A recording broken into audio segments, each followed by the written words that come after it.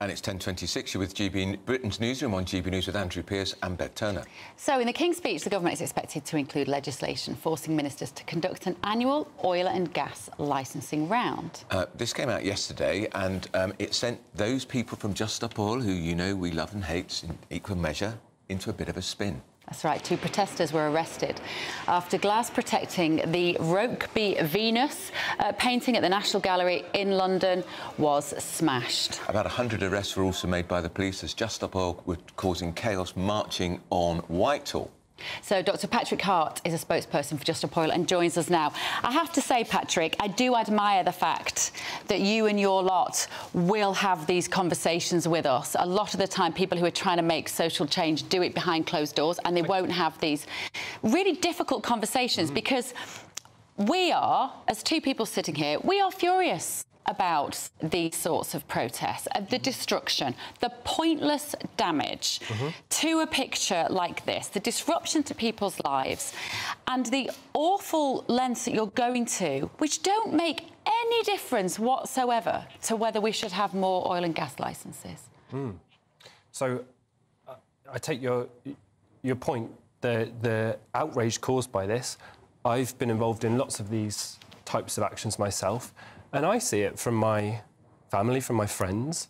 They are annoyed, they're angry, and I understand that. It's a natural reaction. But then what they say is, I admire you for standing up for your values. So I'm a doctor, and I became a doctor because of my core values, and that is that I want people to be safe, to live, live their life in, a, in safety, to be able to do what they want be around their family, have a happy life. Are you a medical doctor? I'm a medical. I'm, I'm a GP. Yeah. So every day I go to work, yeah. and my my number one concern is keeping my patients safe, and that is the exact reason why I am doing these but actions you, but, to keep but, people safe. But you know, on occasions, the tactics of Just Stop Oil has meant ambulances have been unable to get to hospital because you've disrupted the traffic so badly. How does that equate with your Hippocratic oath about keeping people safe as a doctor? So, I have a real problem with this. So, well, that's not, not as big a problem as the person in the ambulance does. Well, listen to what I've got to say. We we asked for freedom of information request to the ambulance service, and no emergency ambulance has ever been delayed by Just Stop Oil. And I think what I you're doing, that. I think what you're doing, unfortunately, is fear mongering, and you're trying to make Just Stop Oil supporters sound like scary people. So what I want to what, what, scary. What I want to say to you is, well, I'm sat here in front of you. Mm. I'm a family doctor. I've been a family doctor now for five years, and a doctor for nearly 14 years. Mm. All, all I've done up until becoming a supporter of Just Stop is go to work and look after families and their children, OK? Am I really that scary?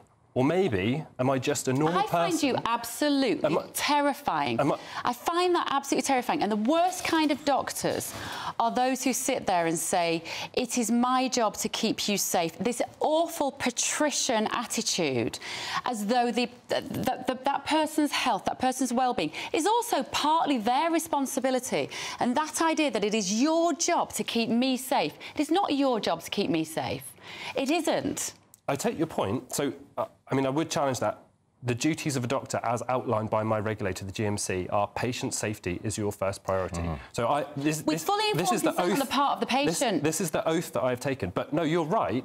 Whose job really is it to keep us safe? Actually, it's our government's job. And in the past, at times of war, at times of economic collapse, great turmoil and disaster, the government has kept us safe. Now, in 2023, the government is doing the exact opposite.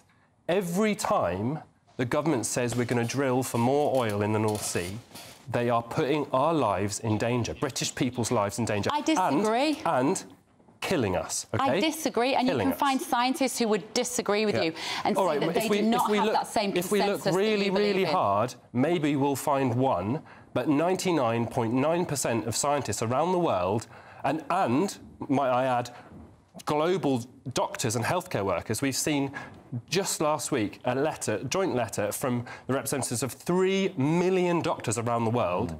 Say new oil and gas means death for our patients. So let's okay? keep, let's just keep importing gas from Russia then, shall we? No. And how, and how is that no. environmentally friendly? No. Let's get ourselves off oil and gas. So the reason we're still using so much oil and, And gas, importing liquid gas, The- uh, uh, uh, which the, is the reason more damage to the environment. the reason we're, we're still using so much oil and gas is because the companies, the very already very wealthy companies, very powerful companies who drill this stuff up, the polluters are keeping us addicted. Okay, we we you know could. why? I am addicted to having a warm house because the cold kills more people every winter than the heat Mm. I, ever I does. thought you might say this. So, you're, so that question implies we have to choose: do we die of cold or do we die of heat? Okay. How about we said, uh, in one of the richest countries on earth, at one of the greatest times to be alive, maybe we could say we won't die of either.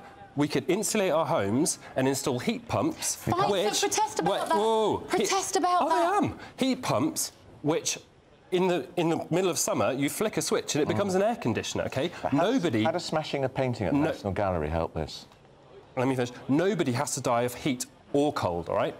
That, why on earth do we accept either of those things? How does smashing a painting help? Okay, so the painting, which wasn't smashed, the glass was smashed, is the exact painting that over 100 years ago, back mm. in, in 1914, you already said it yourself, mm. the suffragettes actually slashed the painting, okay? Mm.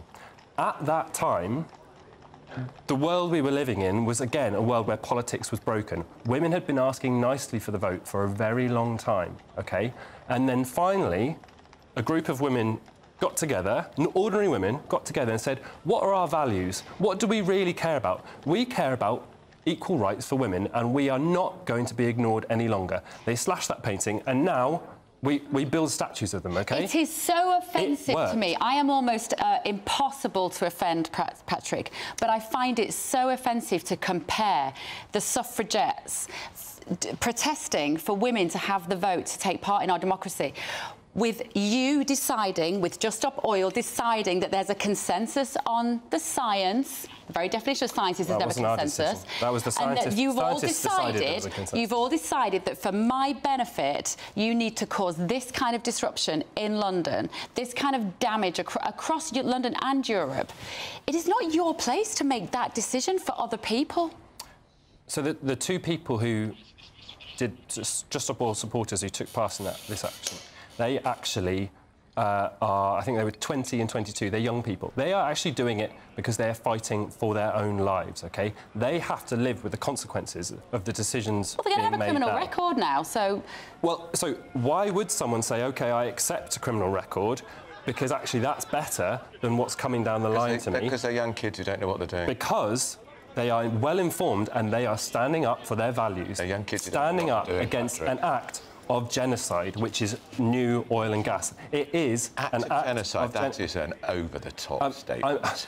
I'm afraid that it's just the Come truth. on, Why And if do you, go... Your you- tactics you- are ludicrous. If you don't and like and it, the narrative you're painting here is over the if, top. if you don't like it, I don't blame you. Genocide is a move on. terrifying word, but unfortunately, that is the truth. So, what I've got to say is no new oil and gas, and anyone listening to this, come and join us.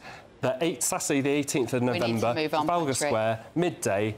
Get down there, join Just Stop Oil. Well, you make your... You, Dr. you Patrick defend Hart, your, you defend shake your your hand for corner. the fact that you have these conversations. Yeah. We respect you for doing that. I don't respect you for your actions, but thank you so much. Right, we've got a lot more this morning. Uh, Prince Huffy, Harry and Meghan insist that Charles snubbed them